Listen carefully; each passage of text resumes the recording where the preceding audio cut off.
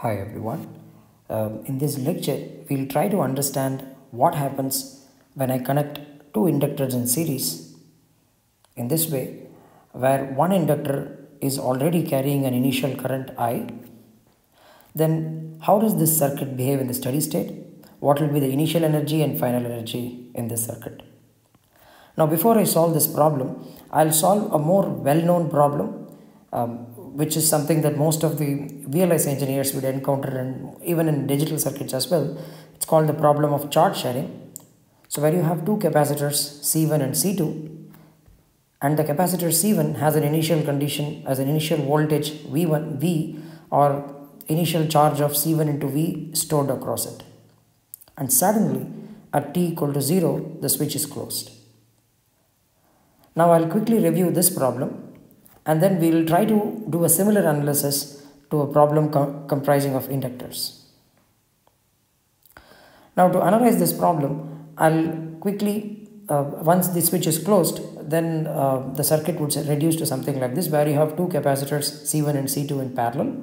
The voltage across both the capacitors will be forced to be equal after that's uh, that's that's after t greater than 0 so now what I'll do is I'll just write KCL at this node, Kirchhoff's current law. So then the sum of the two currents is 0. The sum of the current, the current through capacitor C1 is C1 dV by dt. And the current through capacitor C2 is C2 dV by dt. I'll slightly modify this and write this as d of C1 plus C2 into V by dt. Now this term C1 plus C2 into V is the total charge in the system. So that I've written it, written it as Qt as the total charge. Now this equation tells us a very interesting thing. It tells us that the rate of change of charge is 0. The total charge is 0. Which means the charge before the switch was closed and the charge after the switch is closed is the same. So this is this is an outcome of uh, this equation because I'm, I'm the rate of change is 0.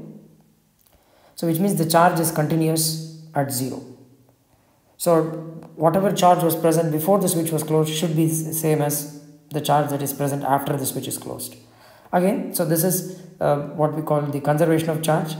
So from this conservation of charge, we can directly write this equation. C1V was the charge present in the capacitor or in the system before the switch was closed. After the switch is closed, the charge will be C1 plus C2 into V dash. So from this, we can find the steady state voltage after the switch was closed. So which is C1 by C1 plus C2 into V. Now this is a well-known result. I'll further simplify this and assume C1 and C2 are same and equal to C. In that case, the final voltage will be V by 2. Now, the initial energy that, that was present in the circuit in the system is half into CV square. So, only one capacitor had a voltage stored across it, so which, which means the other capacitor had 0 volts across it. So, therefore, the energy of the second capacitor, so we had two capacitors before the switch was closed. The second capacitor had no charge. The first capacitor had some charge stored across it and uh, rather the voltage across it was V. It was charged to a voltage V. So therefore the energy stored in this capacitor was half CV square and this was 0. So the total energy before the switch was closed was half CV square. Now after the switch is closed, so this is the steady state attained after the switch being closed. In that case, we have a voltage of V by 2 across both the capacitors. So the total energy in the after the switch is closed will be 1 by 4 CV square. Now if you see here, we said the charge is conserved, but then the energy after the switch is closed and before the switch is closed are different. It means the energy here is not conserved.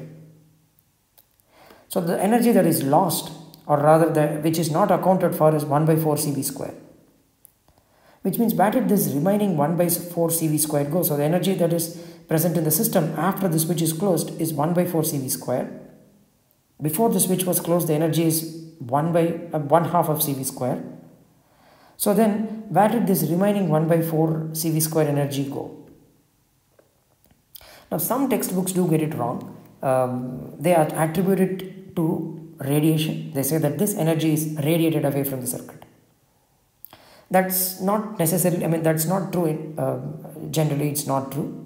In fact we can easily account for that loss of energy as a thermal loss in the switch.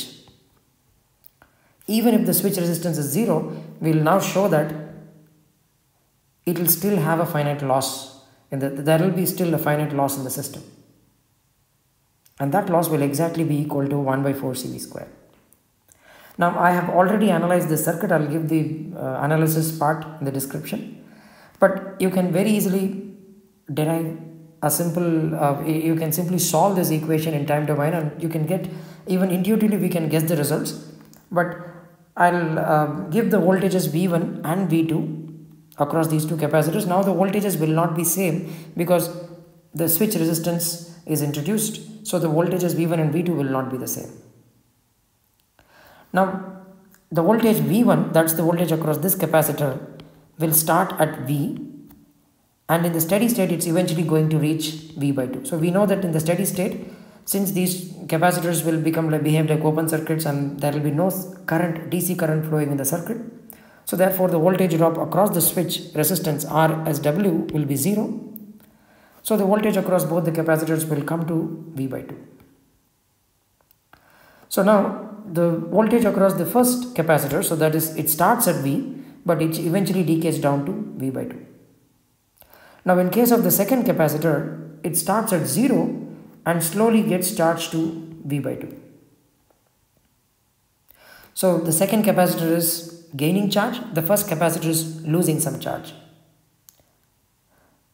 okay so the total charge that is transferred from the first capacitor to the second capacitor is cv by 2 this capacitor. So the first capacitor had a charge of cv stored across it out of which half of the charge was transferred to the other capacitor. Now since the first capacitor lost, lost cv by 2 the charge across the first capacitor also comes down to cv by 2 and now everything is accounted for. Had there been no resistor I mean had that the resistance of the switch was 0 if the switch resistance was 0 then this charge transfer would have happened instantaneously. Okay? So what I've shown here um, if the, I mean the circuit is now because of the finite switch resistance there is going to be some time constants associated with the circuit. The time constant because I mean it's uh, there are only two capacitors and there is only one path for the current through flow and uh, so it will behave like a first order system. So we can simply multiply the resistance into the equivalent capacitance so which will be C by 2 so we get time constant as R switch into C by 2 so then I can write the expression this way. It's uh, at t equal to 0 this value will be V.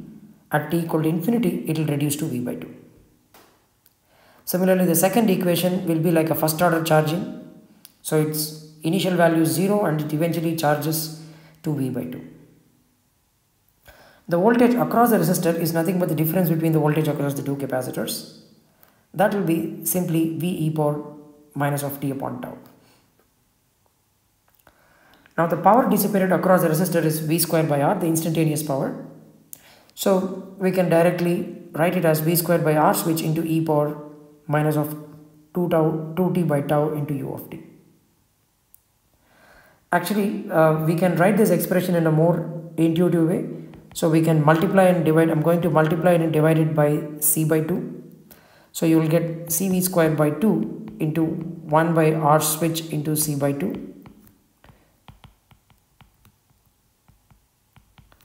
Now this term I'm going to further reduce. So this, this r switch into c by 2 will see, is simply your time constant I'm further going to multiply this by tau by 2 and so this will become CV squared by 4. So the power now can be written in this way. So I have, the reason why I have written it as tau by 2 is that uh, if you evaluate this integral, the area of this integral will simply be, the value of this integral from 0 to infinity will simply be equal to 1. Uh, there is a reason why I wrote it like that. So we'll, in a few moments it will become very clear. Why did I write it that way? So I've written it as uh, written, it, written it in this format and now what I'm going to do is that uh, this is the instantaneous power dissipated across the circuit across the resistor. So if you see the voltage across the resistor decays down with the time constant tau. So it starts at V and it goes down to 0 the power on the other hand starts from a value of CV squared by 4 uh, of course there is 1 by tau as well. Um, in fact tau by 2 is there here. And then it decays down to 0 with a slope with a time constant of tau by 2 power decays faster so now if you quickly integrate this as i said the value of this integral if i integrate this i'm going to get energy so that's the total energy lost across the resistor that's obtained by integrating the power dissipated across the resistor so you're going to get, if I integrate this, I'll just, I've, I've written the integral here, but uh, you can directly integrate this term itself. And as I said, the value of this term is simply 1. So you will get the value of this integral to be equal to Cv squared by 4. So this result, if you look at it, it's, it's there, there is an interesting consequence here. It says that the energy lost across the resistor is independent of the switch resistance and that is always equal to 1 by 4 CV square. So this is where the energy is lost. It's lost as the thermal loss across the resistor as an I square R loss. I'll just show a little bit of mathematics. What's ha what happens in the event uh, when the switch resistance becomes equal to 0. So here um, I've just shown it pictorially uh, what happens to the energy in the resistance. The energy is energy loss in the resistor eventually approaches a value of half 1 by 4 CV square. Now what happens when R switch tends to 0? When R switch tends to 0, the time constant of the circuit tends to 0. Which means if you look at the expression for power, I had already written the power expression in this way, which is which is what I've shown here. Now if you look at this expression here, as time constant tends to 0, the numerator will tend to 0 because it's e power minus infinity, it will go to 0 and denominator also goes to 0.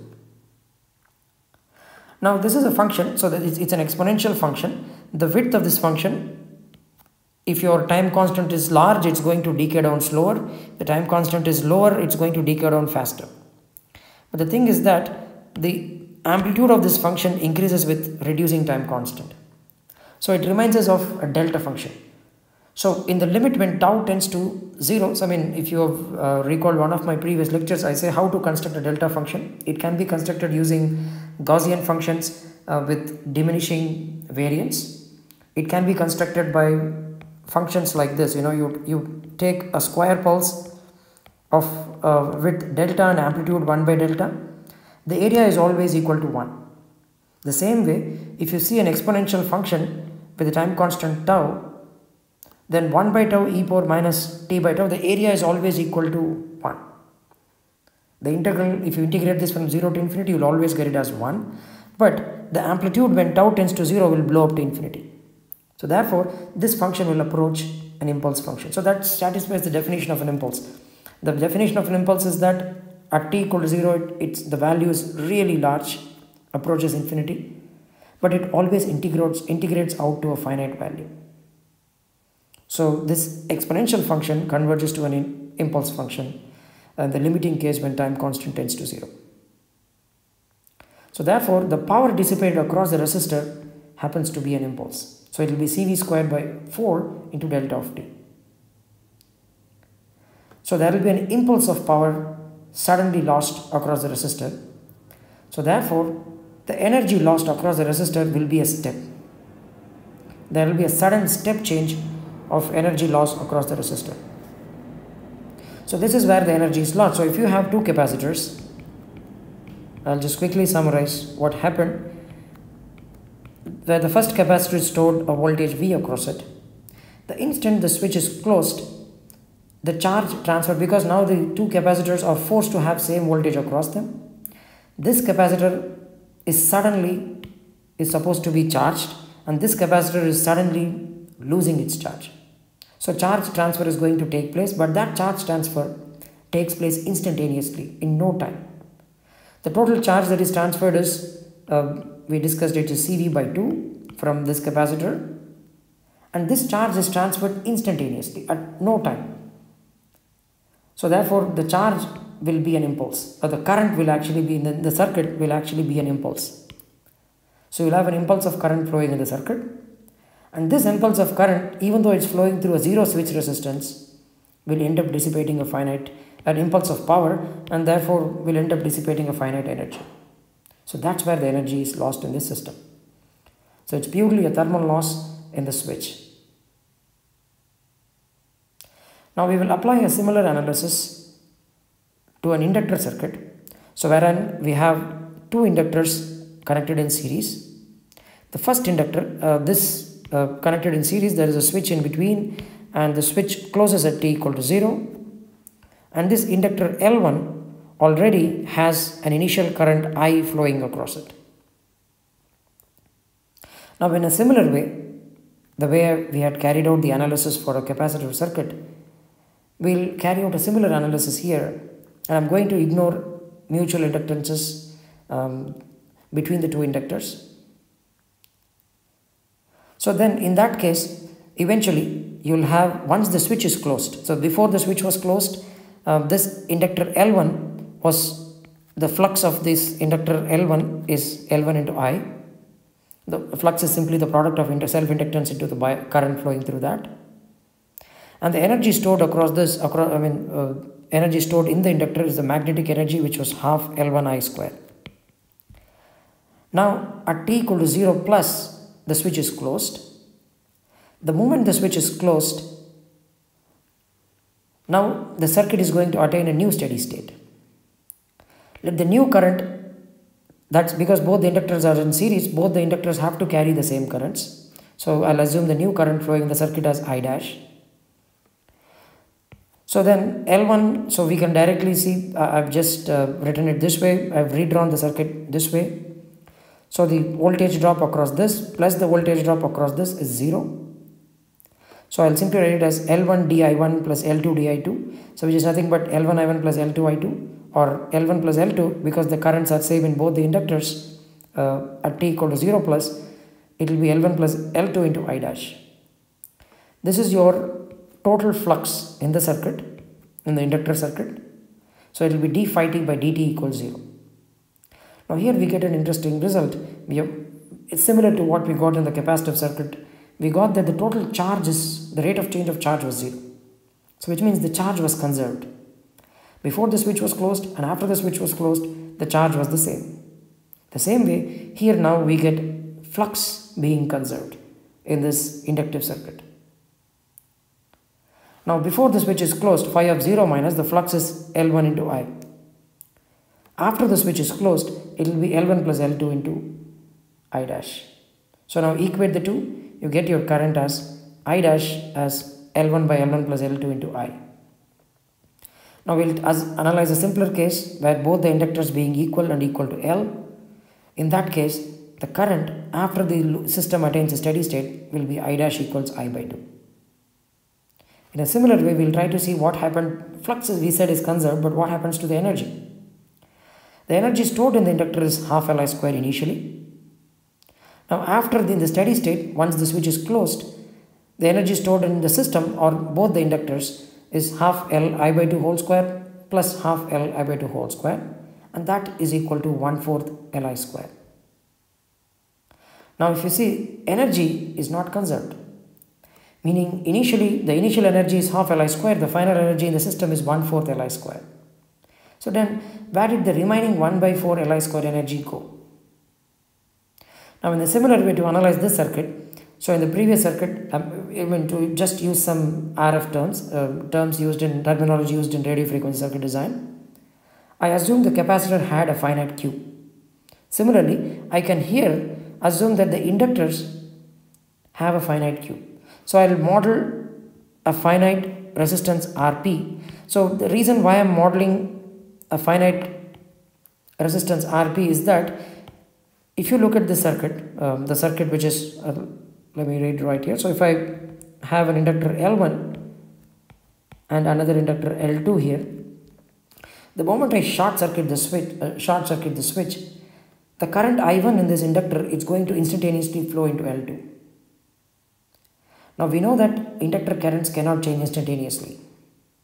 Previously in capacitors similarly we know that the capacitor voltage cannot change instantaneously by adding a finite switch resistance that condition was avoided.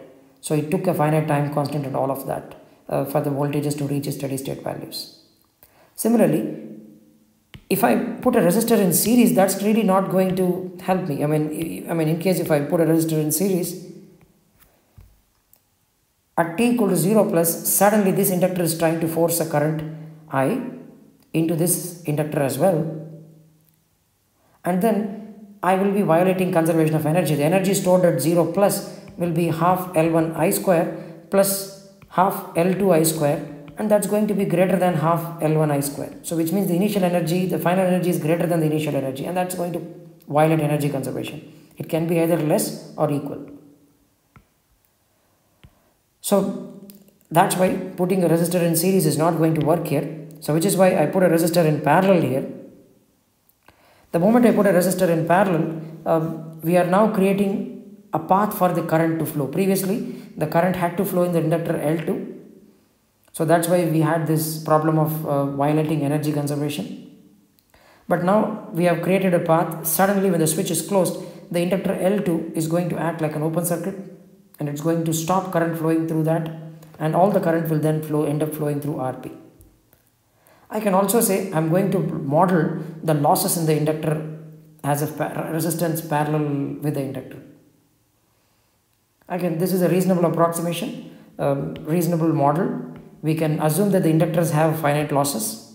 And then finally I'm going to assume that the losses are zero. So which means I'm going to assume RP is as, as infinity.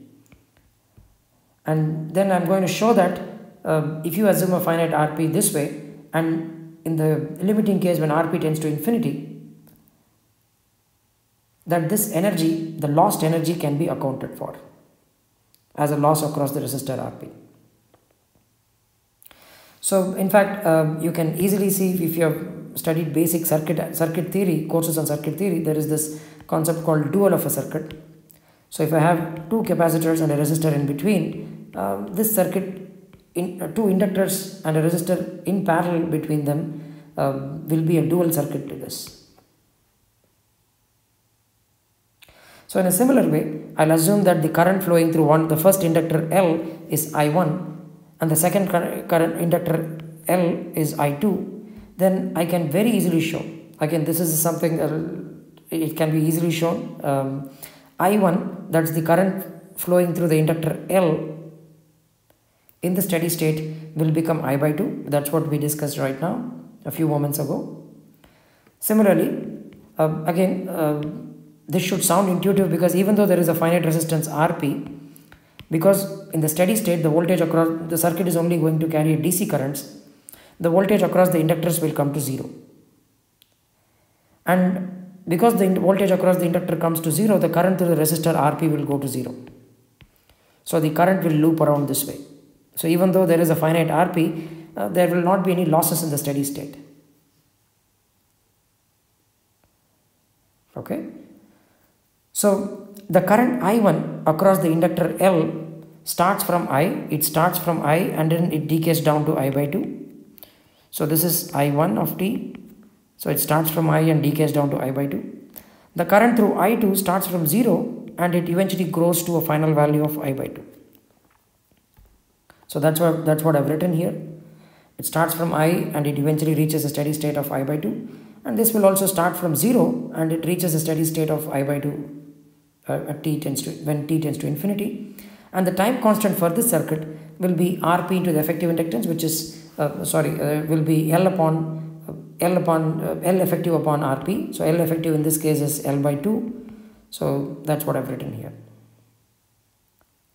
Now the current flowing through the resistor initially all the current when suddenly we close the switch all the current from i l1 will flow through this resistance rp so it's going to be i and then eventually the current is going to go to 0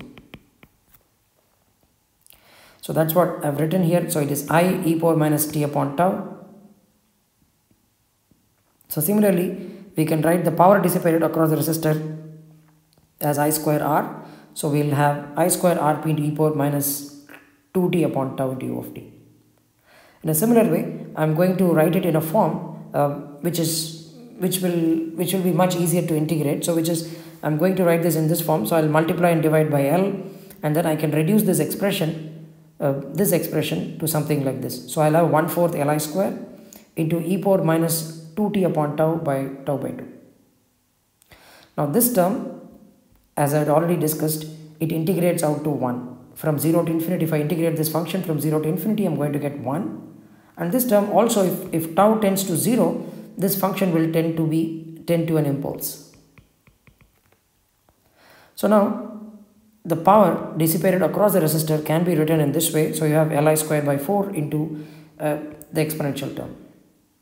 Now the energy dissipated across the resistor ER of t will be an exponential function and it eventually reaches a final value of 1 fourth Li square. Now again if you look at the expression for energy here the steady state energy is independent energy lost in the resistor is independent of the resistance value and this 1 by 4 Li square is exactly the energy that is lost in the system. So that loss can be captured by modeling resistance Rp in parallel. Now in the limiting case, we'll let Rp tend to infinity. We will get a similar condition where the power, so here it is Li square by 4 and this function which is tau by, uh, which is actually e power minus 2t by tau divided by tau by 2, this function into u of t will tend to an impulse. So you'll get something like this. This will be your power. And the energy lost is, if you integrate this, you will get the total energy lost across the resistor. There will be a step, a sudden loss in energy across the resistor. The value of that energy loss will be 1 by 4 Li square. So this is what happens in the circuit. So if you have two inductors and you connect them in series instantly what actually happens is that there is a current which is set in the circuit there is a current because this the current flowing through this circuit through this inductor is L and through this inductor uh, through this inductor L is I the instant we close the switch the instant we close the switch the current in this inductor comes to I by 2 and this current also becomes I by 2 now the total energy we said was 1 by 4 Li square. The energy, the remaining energy 1 by 4 Li square is actually lost in the process of charging this inductor. And that we showed mathematically by assuming a finite parallel resistance Rp and we said that energy is lost in this resistance Rp. So if I, if I assume the resistance Rp to be infinity, even then there will be a finite loss and we can also see that for an inductor to build a current I suddenly the voltage across an inductor has to be an impulse. So the inductor here will develop an impulse of voltage across it and gain a current I by 2 and this inductor because the voltage is in the opposite direction the voltage developed is in the opposite direction to the direction of flow of current it's going to lose a current I by 2 by developing an impulse of voltage across it. So an inductor can build a current instantaneously provided the voltage across it is infinity. So if you suddenly change a current across an inductor, you will notice a spike of a sudden voltage spike across the inductor. So if the inductor had a finite Q, it would have been a, uh, the voltage change would have looked like this. It would have been an exponential change. It, it would have decayed down exponentially like this. But if the inductor is of infinite Q, they are infinite Q inductors, then what you will notice is an impulse change, a sudden impulse change. Because of this impulse change, even though the Q of the inductor is infinity, even though there is no parallel resistance, even though Rp is infinity, there will be some losses across this resistor. There will be, mathematically, you can show that there will be some losses across the resistor and this is where the energy is lost.